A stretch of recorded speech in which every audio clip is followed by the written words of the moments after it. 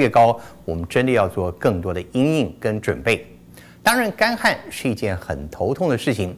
不过，在上个世纪的时候，人类还是以“人定胜天”这个理念来对付天灾，换言之，留下了很多重大的水利工程。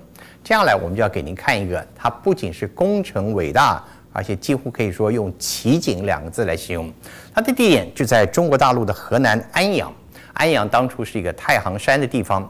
但就在上个世纪的六十年代，那时候面临了极严重的干旱，于是中国大陆动员了十万以上的工人来修建了一道引水渠。这个引水渠的工程非常之难，因为它要透过山壁、越过山顶、走过很多的山的天险地带。整个工程很多时候，这水道就盖在山壁的中间，有一道悬浮在空中的水上长城一般。花了蛮长的时间，终于把它建完。这个水系的全长呢？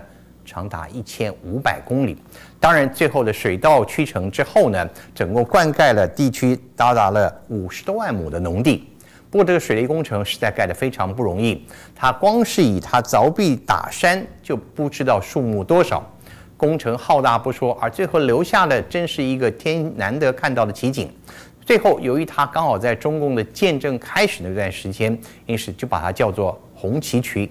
红旗渠到现在已经有五十多年的历史，当然它的供水量已经不若当年，不过还是在发挥灌溉跟引水的作用，而且最重要的，它现在已经有极大的观光价值了。带你去看一看这个五十年前的重大水利工程。当然，人类现在在看那个工程的同时，也该想想天后从那五十年到现在，恐怕变化又更多了。如果现在再盖更多的红旗渠，恐怕面对气候的异常，也大概没什么用了。但在这险峻的太行山上，竟然有一条绕在群山腰际的水渠，看起来像是个水上长城。它就是举世闻名的中国第一渠——红旗渠。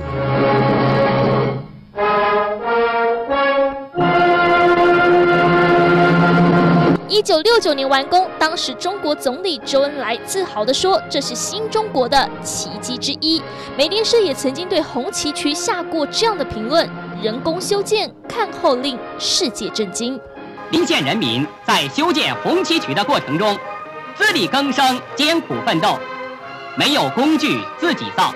震惊的点不外乎是一千五百公里长的红旗渠，靠的仅仅是半个世纪前河南林州人用锤子、铲子和两只手开凿出来的，就像行军一样的队伍。开山修渠大会战从一九六零年二月十一号点燃，这个在黑白影片中的年轻人有着飞虎雄鹰的称号，现在当然已经是白发苍苍的老人。您当时在渠上都干过啥活啊？我主要是爆破。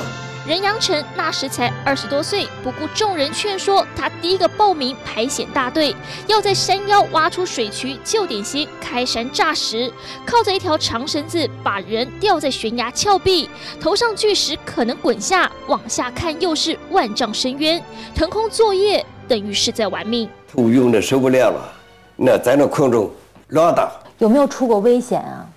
就在九月第三天。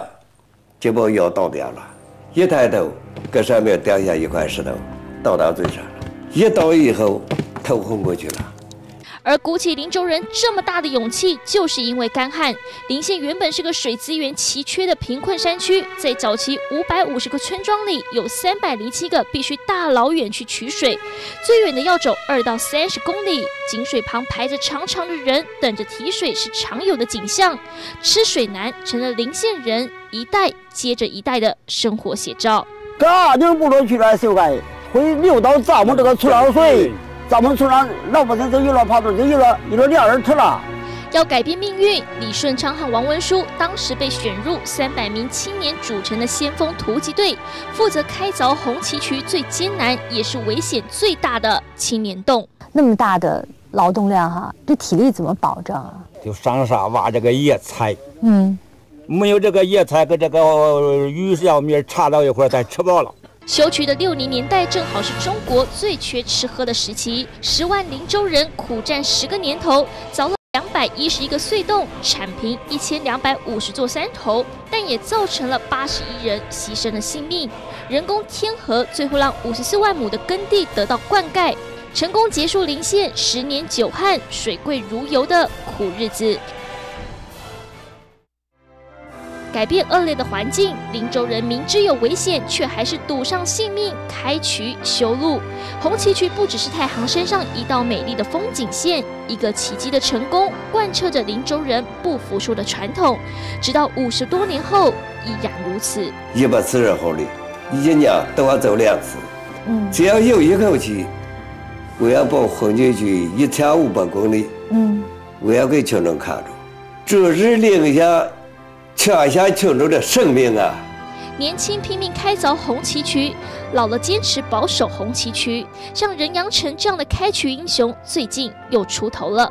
因为红旗渠从两千年以来饮水量逐渐减少，甚至不到建成初期的一半，加上部分渠段毁损，面临重修的必要。修复工程看到了当年的先锋队，七十七岁的王文书，还有七十一岁的李顺昌重出江湖。